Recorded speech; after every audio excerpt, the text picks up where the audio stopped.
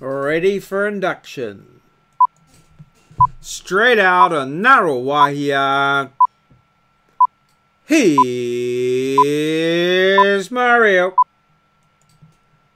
Hello, Maurieo's daily vlog number 665, 2019 induction number one, Wednesday, February the 13th. 2019. Hello, hello. Uh, hi, 3.5.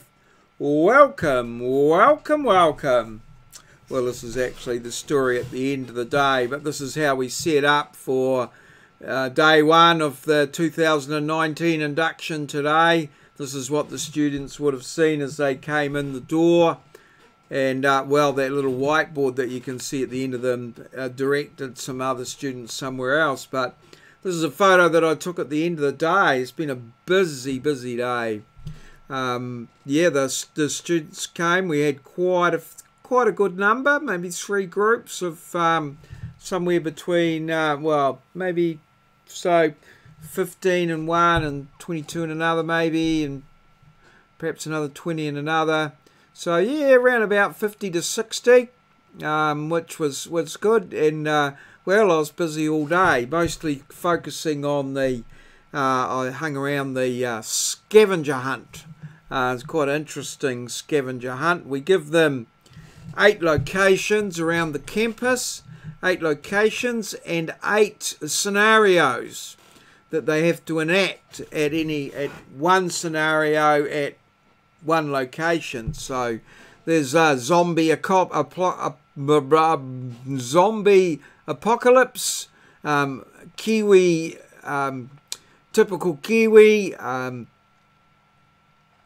the um, an iconic film, uh, sort of moment in history sort of thing, and they have to enact uh, the each uh, scene at uh, one of the sites. So, or at one of the sites, they have to enact one of these scenes. It's, it's quite good, some of the stuff they come up with. Um, you know, the uh, man landing on the moon, the Titanic's very popular as a, a movie, um, and, and, and that sort of thing. So it's, um, yeah, good bit of fun. Uh, oh, they have to do a human pyramid at one.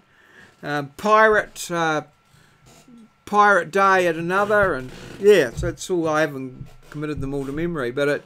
So we just give them the slip of paper, and uh, they do, and then they upload all of the um, the photos that they take. They upload them to a Facebook page, a closed group, and then we we can, as they're going around doing it, things are reporting back to the Facebook page, so we can see what they're doing, and yeah, it's good, quite good. So that's the scavenger hunt. Um, we did some health and safety. So we had three groups, health and safety and some, um, you know, signing up, logging in and that sort of thing. So, uh, yeah, it's a busy day. And another, another day tomorrow um, where I've got um, my balloon car activity, which is um, just introducing people to the design process and some of the ways that we teach um, at, at Wintec in case you didn't guess where we were. So yeah, yeah, real busy day, and uh, we'll see that because the diary uh, tells the story,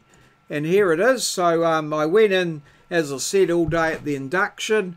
On the way home, I popped into the warehouse to get some prizes um, to present tomorrow. I can't divulge what the prizes are in case there's uh, some of the students watching. So they're all good to go tomorrow. And then once I got home, I mowed a final bit of lawn. So the lawns are all done, all seven done there, as you can see. And that gave me 10,399 steps. That's a lot of steps for me. And I, I can feel it. I can feel that I've um, had a, um, you know, high stepping day. So that's awesome. 665 219 induction day one. Um, we're going to have a question today about inductions inductive theory. Uh, 272 on the where, what, who is, uh, is aware. And uh, yeah, so we had the induction and the scavenger hunt today.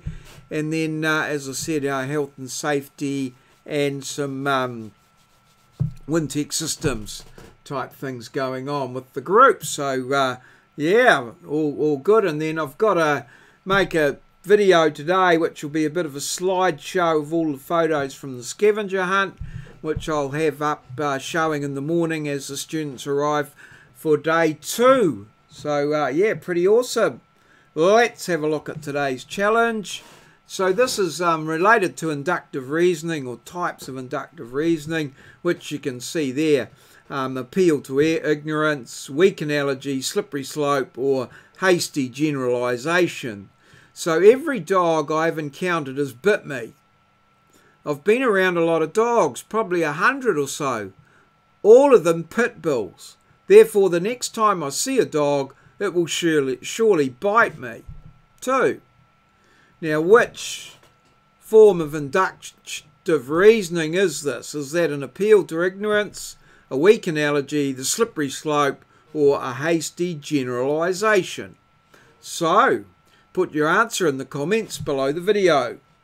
And uh, hey, no harm in guessing. You got a 1 in 25, 1, 1 in 4 chance of getting it right. So if you're in there and you made a comment, you may as well have a, have a shot. You know, you might uh, might get yourself on the Hall of Fame or the first one in. So uh, yeah, just give it a go. No harm in trying. All right, Hall of Fame from yesterday. And uh, which basketball term is defined as the entire length of the court? It's coast to coast. And uh, Moz put that into um, a wonderful little um, response there. His comments are just iconic. I'm sure that there's people that tune in every day just to see what Moz's comments are. So um, thanks, Moz. Uh, thanks for your marvellous support of uh, Maurieo's daily vlog. Thanks everybody for liking and subscribing, commenting, just ringing that little notification bell so you get know when the video comes out each day. All of that marvellous stuff that you do to support my daily vlog. I appreciate it. I thank you very much and uh, well, I'm hoping that we'll see you again tomorrow. All good. Cheers. See you. Smash that like button. This has been a Maurieo presentation from our studio in Ngaruawahia. That's in New Zealand, way down there at the bottom of the globe. See you.